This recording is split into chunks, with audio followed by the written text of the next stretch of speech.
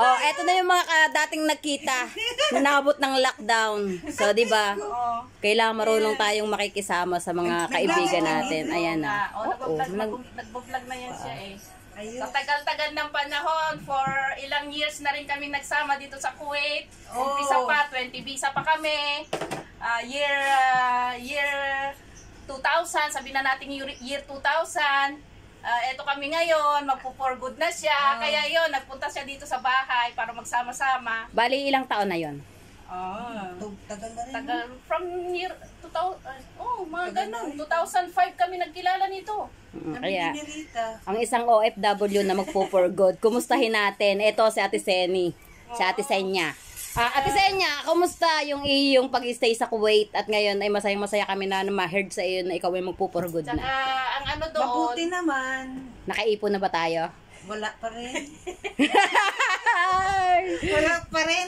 Hayaan mo, kahit, kahit walang ipon, basta maganda ang ano, ng ano ng katawan. oh, ilang buwan na rin siyang walang trabaho for Four months four na months. trabaho, Four wala months. rin. Walang lockdown, sweldo, walang- lockdown. No work, no pay. No Mm-mm. work, no pay. Anong gagawin? Uwi na lang ako. Magpurkod na lang ako. Malay mo, meron ayudas Pilipinas. Di ba? Oo. Totoo yun eh. Hingi tayo ng tulong sa Sa, Gobyerno. sa gobyerno. Gobyerno. Hindi na punta ng Sa, ano, di, sa uwa. punta ng embassy, sa uwa. Sa uwa.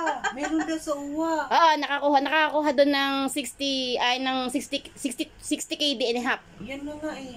So pumapada kayo ng 10,000.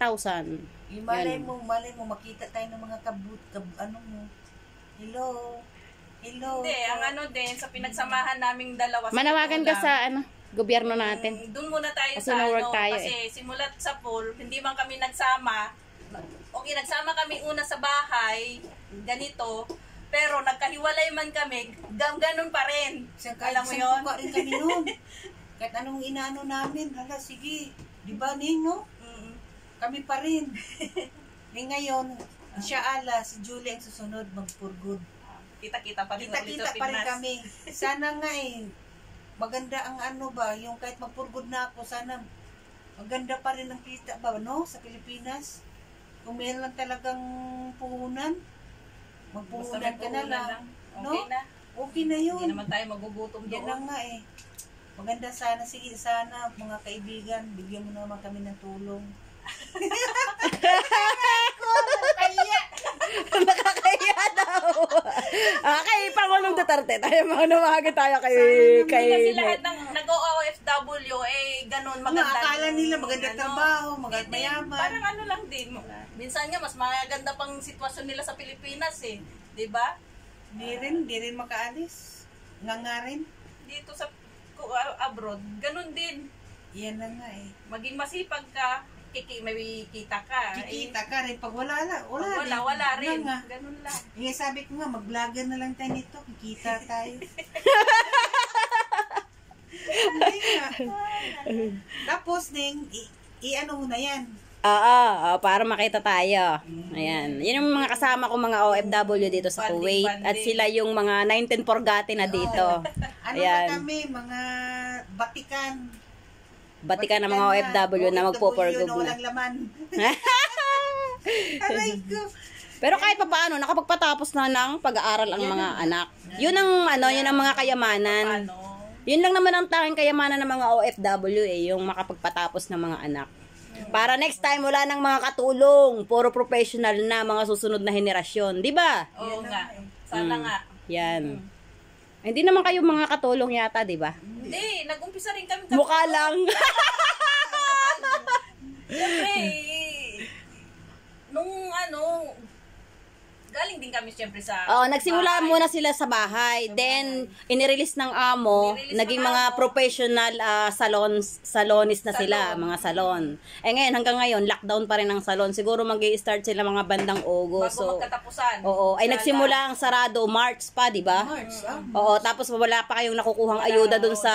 okay O, talaga. ano ba yun, akap ba yun? Sa akap, wala rin. Oo, wala pa sa akap. Oo, ba't ganun? Sabi na meron. Eh, yung iba, meron.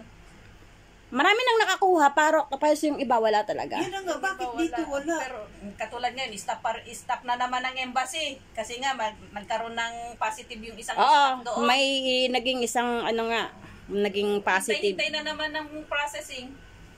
Tapos ning iano mo yan, ilipat mo sa ano?